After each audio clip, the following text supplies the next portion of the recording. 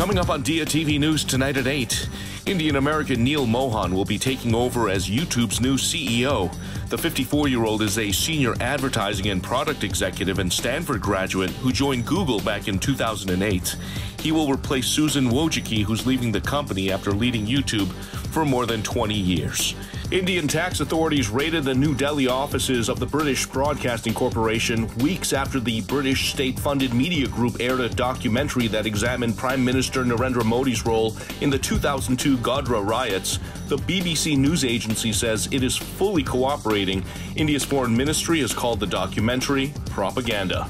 And Indian American Meena Harris, the niece of Vice President Kamala Harris, is starting a new venture capital firm called Phenomenal Ventures.